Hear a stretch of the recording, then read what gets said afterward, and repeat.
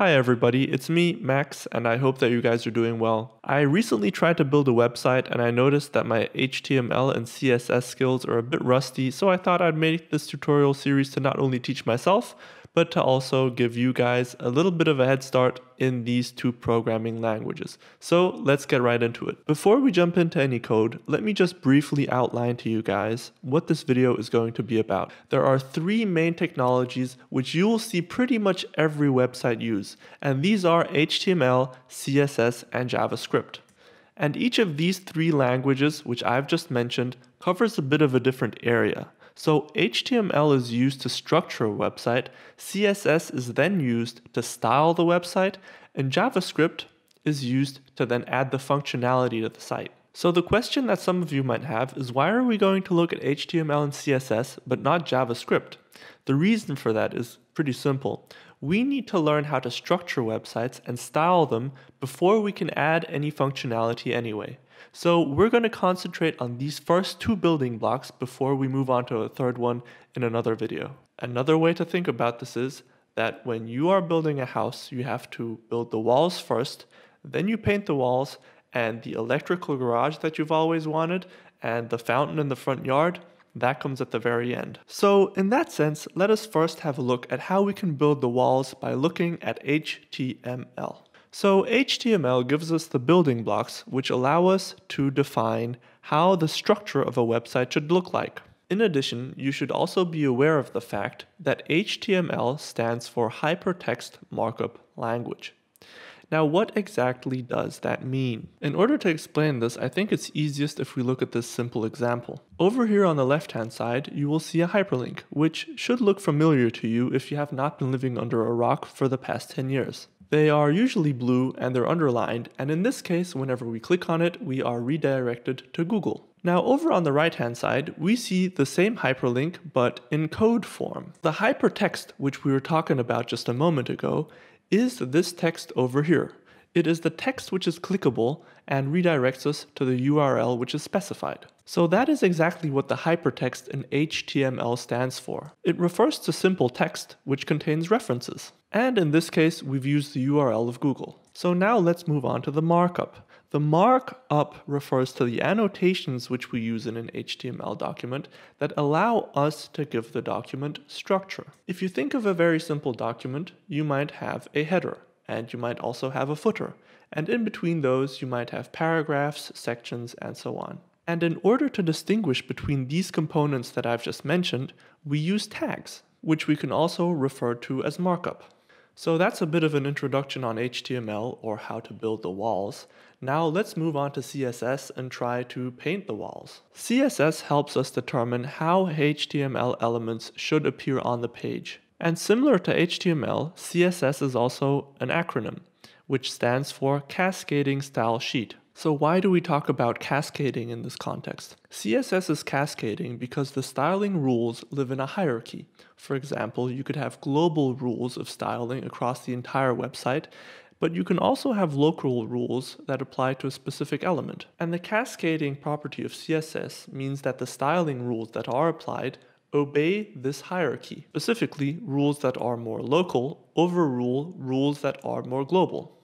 So now we already know that HTML allows us to give our websites some basic structure and CSS allows us to make the websites then look pretty. There are certain requirements that we need to fulfill in order to make use of these technologies. One of these requirements is that we're going to need a web browser, and I'm going to be using Google Chrome. In addition to that, we also need some sort of editor to write the code and I'm going to be using an editor called Sublime Text. Now, there are alternatives to both the browser you use and the editor, but I suggest that you use the same ones as I do here so you can follow along. So you probably already have some sort of browser installed because otherwise you couldn't be watching this video. So let me go ahead and show you guys how we can install Sublime Text. First off, we're going to go to Google and search for Sublime Text. Then we're going to navigate to their website and on their website, we're going to choose what we want to download. Since I'm using a Windows machine, I'm going to download for Windows. You'll see the download appear in the bottom left corner and once you click on it, a small window opens asking you where you would like to install Sublime Text. Since I want to leave it in the default directory, I'm just going to press next over here. Then it asks you if you want to add it to the Explorer menu and I'm just going to press yes over here. And then in the final step, you can simply go ahead and press on install. The installation process is short and sweet and after it is done, you can simply press on Finish. So now that the installation process is completed, you can go down to the Windows icon on the bottom left hand corner and drag and drop the icon onto your desktop just to make it more easily accessible. So go ahead and double click on the icon to open up Sublime Text. The first thing you want to do is click on View, then Syntax and choose HTML. After we've done that, we can go and save this file. I'm going to click on File, Save As, and the name I'm going to give this file is html underscore tutorial. Below the name there's a field which says save as type, and over here you want to make sure that it says HTML. This is going to ensure that the file that we save is indeed going to be an HTML file which we can open in the browser. After clicking on save, we're going to go ahead and minimize Sublime Text, and we're going to open up the folder where we saved this file. Over here you can already see that the file has a Chrome icon, which means the computer has already detected that this is a HTML file which is meant to be opened in a browser. If this is not the case for you, then you can always right click on the icon and select open with and then choose the program with which you want to open this file. So we're going to go ahead and open this file in our browser and then next to that we're going to have Sublime Text open.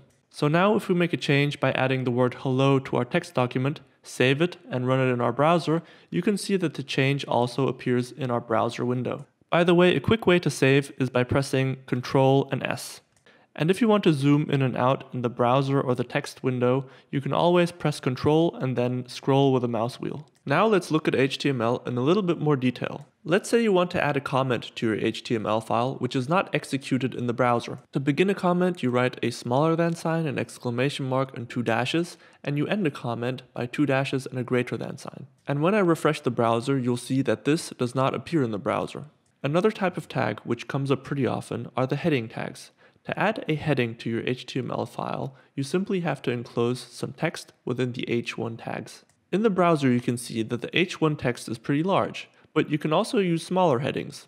More specifically, you can use anything from h1 to h6, with each one getting gradually smaller.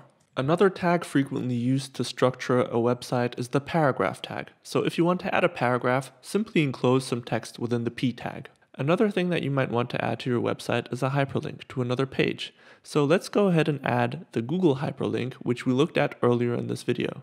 If I now go ahead and save this and then refresh the browser, you can see that the Google hyperlink pops up. And as you would expect, when I click on the hyperlink, it redirects me to Google. It's also possible to add images to your HTML file by using the img tag. One thing we always need to specify within this tag is the source to the image.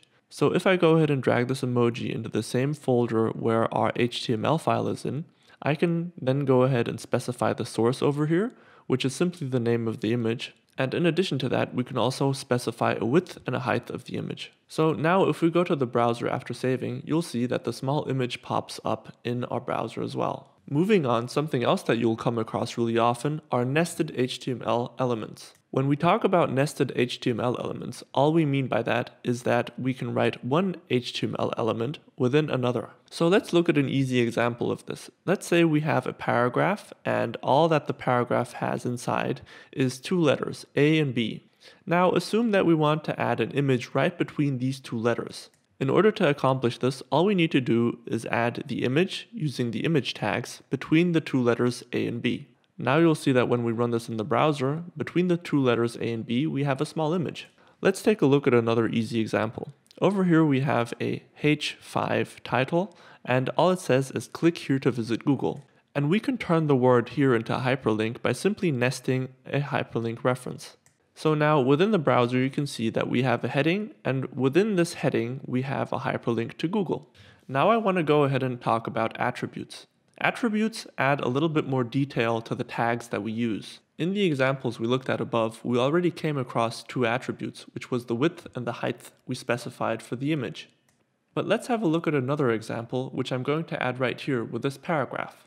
The attribute over here is called title, and it says I'm a tooltip.